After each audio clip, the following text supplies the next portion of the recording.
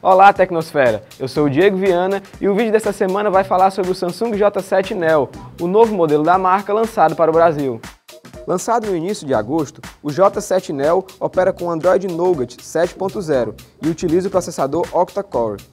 Sua memória interna é de 16 GB, com suporte para microSD de até 256 GB. A memória RAM do aparelho conta com 2 GB. A tela de 5,5 polegadas é bem legal para quem curte assistir filmes e séries através do celular. Para quem gosta de tirar selfies, o aparelho conta com uma câmera frontal de 5 megapixels, além de função selfie panorâmica, que permite ampliar o ângulo de captura da imagem, movendo o celular para um lado e para o outro. A câmera principal do aparelho é de 13 megapixels e conta com ajuste de foco, semelhante aos demais aparelhos da marca, mas sem grandes sofisticações. Uma das inovações do aparelho é a função Dual Message, recurso exclusivo da Samsung. O usuário vai poder utilizar duas contas de WhatsApp e outros aplicativos de mensagem no mesmo aparelho. Outra inovação do J7 é seu próprio suporte técnico, o Samsung Members.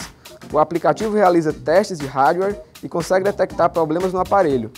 Os testes avaliam bateria, sensores de tela e teclas. O aparelho também conta com TV, se destaca pela qualidade digital, a transmissão pode travar ou ficar lenta caso o usuário utilize em movimento.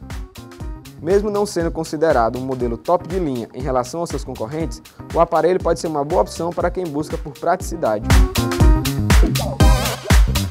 Quer saber mais sobre tecnologia?